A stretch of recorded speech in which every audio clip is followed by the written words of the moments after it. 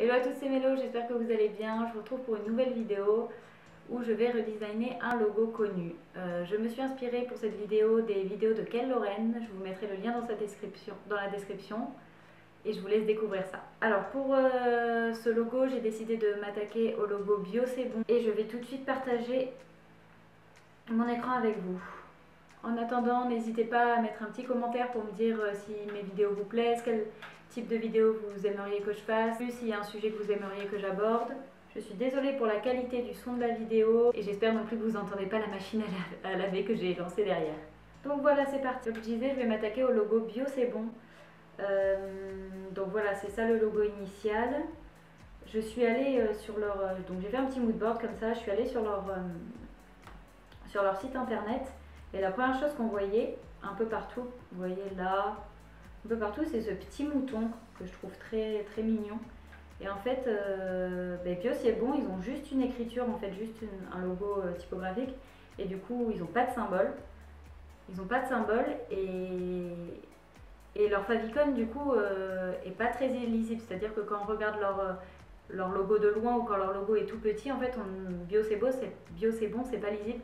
Donc euh, je trouvais ça intéressant d'utiliser ce petit mouton parce qu'il est mignon. Et surtout parce que dans leur euh, site internet, ils marquent qu'ils ont la volonté d'ouvrir le bio et de euh, d'étendre le bio au plus de personnes possible. En fait, ils ont envie de rendre le bio accessible à tous, c'est leur mot et c'est ce qu'ils mettent un peu partout sur le site.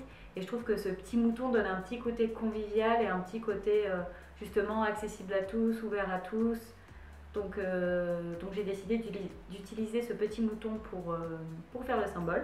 Donc j'ai fait un petit mood board avec leur mouton à eux, leur logo bio c'est bon, euh, quelques, quelques images, quelques photos pour avoir quelques couleurs de côté et aussi un petit mouton, donc un petit mouton simplifié.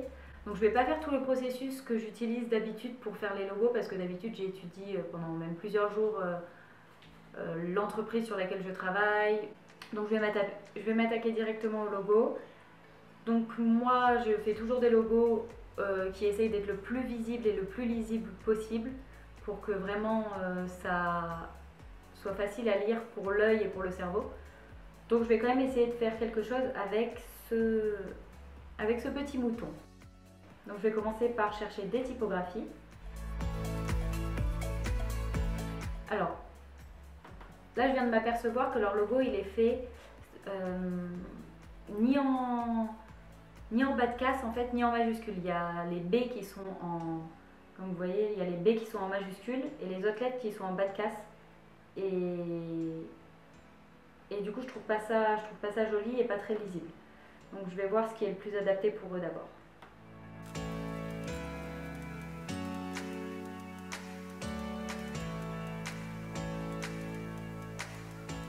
Donc là, ce que je fais, c'est que je mets donc des barres ou des ronds en dessous des lettres en fonction de si elles sont plutôt linéaires ou si elles, sont, elles ont plutôt un rendu arrondi.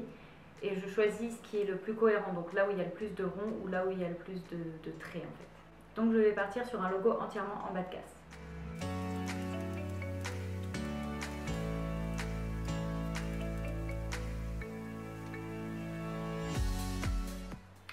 En général, je commence toujours par chercher parmi les typographies que j'ai déjà dans, dans mes typographies. Et là, je vais d'abord passer sur... Euh, et là, du coup, je vais passer sur Creative Cloud, sur la... Donc sur les polices de, du cloud. Euh, donc là, j'aimerais bien une typographie plutôt ronde.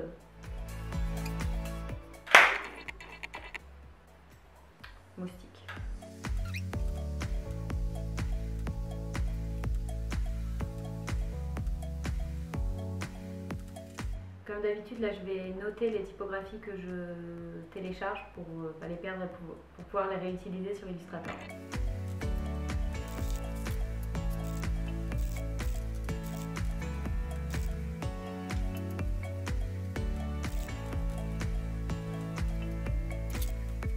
Alors, donc voilà sur Illustrator, du coup, on avait CO.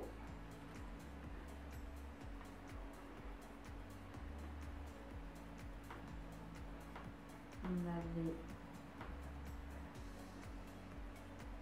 vague euh, Schrift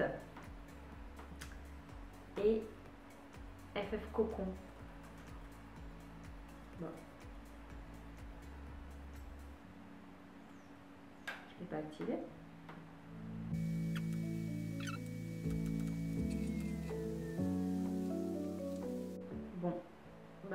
Ça s'appelle Cocon Pro.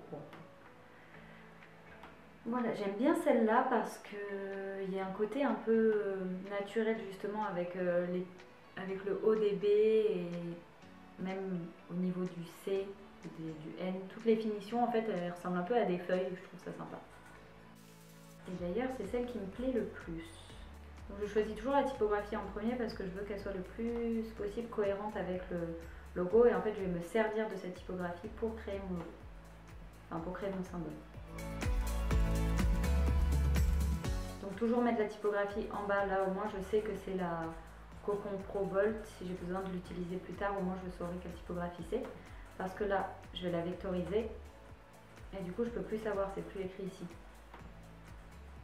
Alors, hum, si elle veut bien vectoriser. Voilà. Quand je clique dessus, il n'y a plus écrit, alors que si je reviens en arrière, là c'est écrit. Donc c'est bien de toujours garder le nom de sa typographie si on a besoin d'y retourner. Donc je vous avais pas montré, j'ai fait quelques croquis avant de commencer.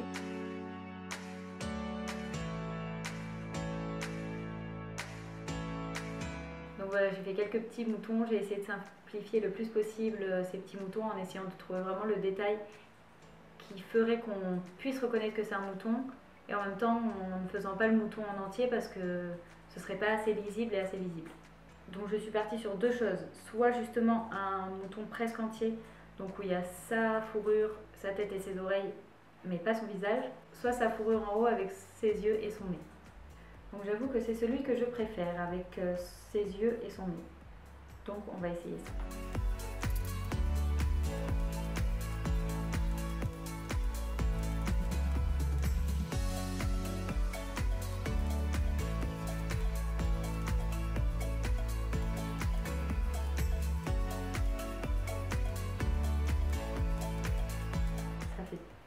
Humain, c'est trop bizarre. Ah, à chaque fois je fais la fausse manip.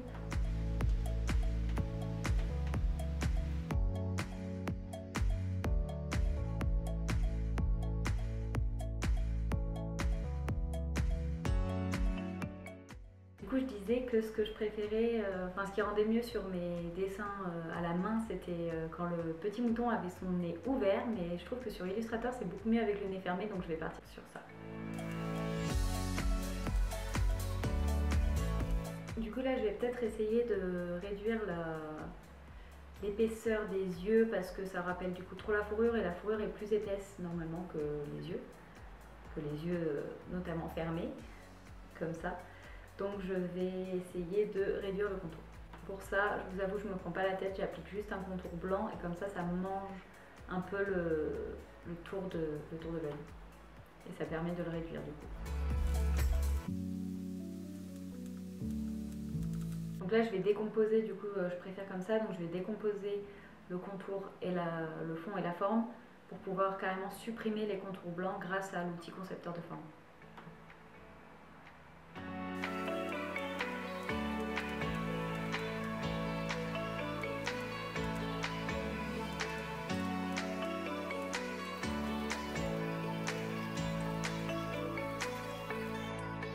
Un problème avec la vidéo, du coup je reprends où j'en étais. Donc là je faisais des tests pour essayer de lui mettre un nez un peu comme j'ai fait sur mon croquis du coup. Mais en fait ça rend pas bien du tout, on dirait qu'il a une sorte de bec ou je sais pas quoi. Donc finalement celui-là ça rend plutôt bien. Donc euh, je vais juste essayer d'adoucir un peu les coins, peut-être de resserrer ces deux parties-là.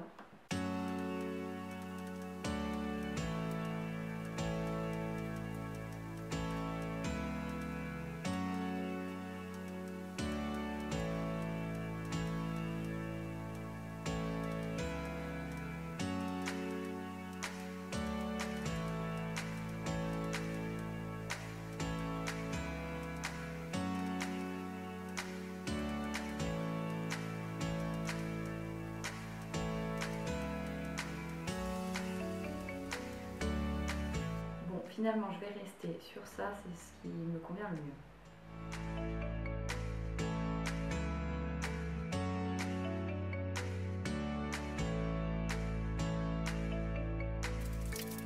Donc maintenant je vais essayer de voir euh, comment organiser la typographie parce que eux ils ont fait un truc un peu en quinconce et finalement ça prend beaucoup de place et je sais pas, je trouve, je trouve pas ça très joli en fait. Ils ont essayé d'aligner le O, le C, le B mais ça rend quelque chose de bizarre. Surtout que leur B est en majuscule alors que le C et le O sont en bas de enfin, c'est un peu bizarre. Donc je vais tester autre chose.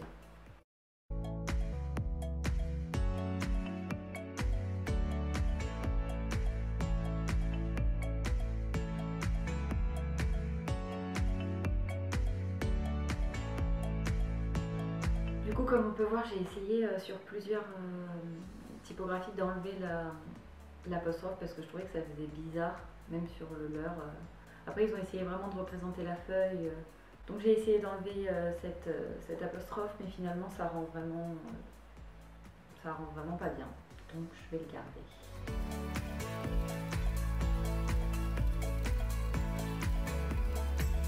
Alors du coup là ça rend un peu bizarre parce que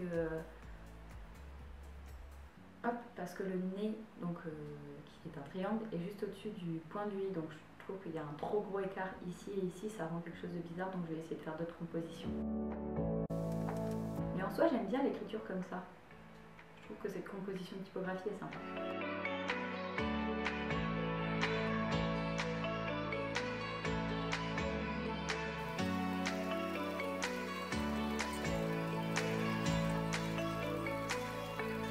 Donc voilà les trois propositions de composition que j'ai choisies. Je vais voir laquelle match le mieux et je vais commencer à mettre les couleurs. Donc il y en a deux que je trouvais qui marchaient vraiment bien, c'est donc celle-ci et celle-ci. Donc euh, il y a une proposition de logo en horizontal et une en horizontal, en horizontal et une proposition en verticale. Et donc j'ai repris le CCD du premier pour le mettre sur le deuxième pour que les deux soient cohérents. Je vais finir de mettre bien en place ma composition et je passe à la couleur.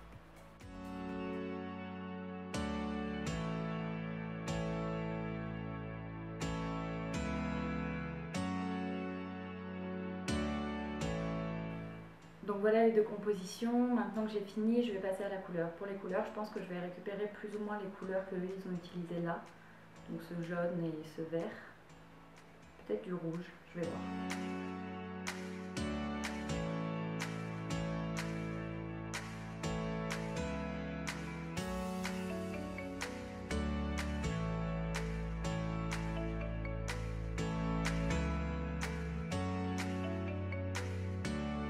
Je sélectionne mes couleurs et je vais aller dans le nuancier, créer un dossier.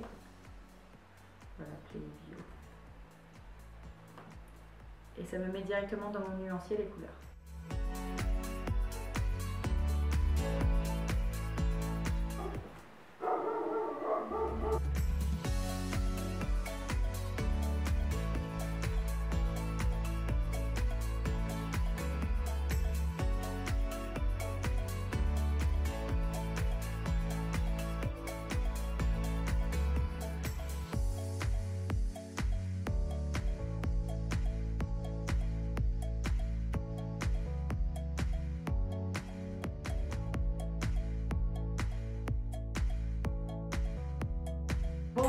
Est terminée, j'espère qu'elle vous aura plu. N'hésitez pas à me dire ce que vous en avez pensé dans les commentaires. N'hésitez pas à me dire non plus si ce format vous plaît, si vous voulez que je refasse des formats comme celui-là. Et je m'excuse aussi pour euh, tous les changements de plan qu'il y a eu, notamment peut-être justement avec la lumière, parce que j'ai eu pas mal de problèmes avec la caméra. En tout cas, euh, j'espère quand même que cette vidéo vous a plu. Et moi je vous dis à bientôt. Bye